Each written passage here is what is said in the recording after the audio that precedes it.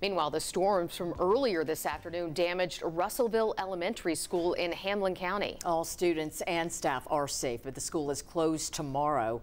Now, let's take a look at the damage. The Hamblen County Sheriff says only third grade students were in the building at the time. The other grades were on a field trip. The sheriff also says the roof of the school peeled back. It did not collapse, though. Some rooms, though, took on water and some ceiling tiles fell. Uh, there's just extensive damage inside uh, the third grade area, took significant water damage. The cafeteria area took some damage, and the gym took significant roof damage. Um, ceiling tiles in the floor, water everywhere, just significant damage inside there.